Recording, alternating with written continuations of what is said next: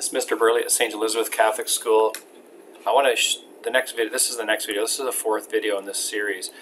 In the last one, we did a few things. We added the wheel and we sculpted the wheel. Now I'm going to copy the wheel forward here into this location. I showed you slightly previously how to do that, but we'll just go over it one more time.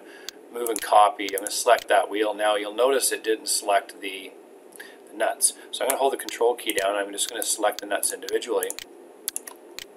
I'm going to scroll out. Now I have to create a copy. If I grab this one and pull it straight forward into the proper location, it creates a copy. Now, one of the things that back I want to I breezed over and I'm not sure everybody understands, but it's kind of an interesting link here. The wheel would actually be rubbing the inside. There's always a gap there, there never would be rubbing. So what you do is you go back to the, the model here, if I can find it. This one right here, no, this one. Bear with me, it's gotta be one of these. Do the last one. Right there. Of course it's the last one, why would I keep going? Now, I'm going to right click, I'm going to extrude that or edit that feature. And now this will just drag it that way but I want to go two sides. And I'm going to grab this one, the inside one and make the wheel a little narrower. So if I go to the front view I can see exactly where that wheel is supposed to be. So I'm going to come back to roughly there. And if you want a little bigger, a little beefier, little beefier tires you can come back there and make it beef them up a bit. And I can bring this one out a little bit like that so now it replicates more of the tire. You can see the image isn't perfectly lined up and down on this particular model, but not a big deal for that. Now the interesting part of this is when I go OK, all the previous ones I moved, it'll also do them. So you see I've got a gap on the front as well. Now the next thing we can do is I can bring, once I mirror it, then I can go and sit on this face and I can bring a, an axle across and model a nice axle and even do some under, under designs. Like I could put, flip it upside down. We can put the exhaust pipes on and everything. Again, 3D printer will do all that. If you're seeing seeing it, it's a different story, but 3D printing will work nicely. Now, I'm going to go to this view. Now you notice the model isn't out far enough. So I'm going to go back and I'm going to edit that. I'm just going to right click here. And what I'm going to do is I'm going to right click this guy and I'm going to press pull him. And I want to pull him out just a bit further. So if I go to this view, I can see how far out to pull him. So I'm going to pull him out to something like I want to get I want to get this area here in, in, as well. So I'm going to pull them out like that. There we go. Click OK.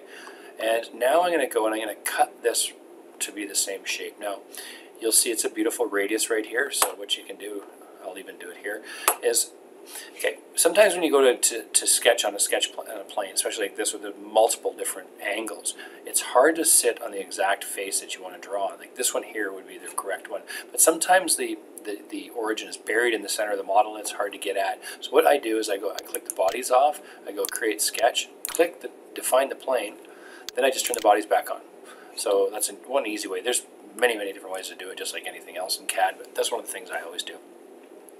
Now I'm going to create a sketch. I'm going to start up here somewhere, and I'm going to come down to here like this. I'm going to zoom right in, and I'm going to go to about here. And then I'm going to take a radius tool. I could have, I should have been over a little bit further, but no, nevertheless, um, you're going to do a better job than I am. Arc. I'm going to use that arc. I'm going to go here, and that's the end. And I'm going to go so zoom in again, make it just a little bit like that. I'm going to grab the end of that guy, and I'm going to come from here. I'm going to scroll out a bit. I follow the window down, and I know the window is right down to there, and then it comes out on a bit of an angle right here. So I lost it, so I'm going to grab back onto him, and I'm going to come back out on a bit of an angle somewhere around there. And then anywhere here is arbitrary, meaning it doesn't matter. You're just going to come back here. You're just finding your way back home to this guy here. Now, right click, stop sketch.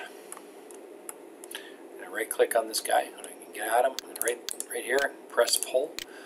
And put them on an angle like this. I'm going to go two sides, and of course we're cutting, and it'll know you're cutting as soon as you pull. You'll see it turn red. So we're going to come way out here and make sure it's past the front just in case there's any features not catch. Cut, come back this way like this, cut it, and now if I turn off the canvases, you can see it's starting to look like more like a Jeep. We've got the round top, we've got the straight window down the side, and so on.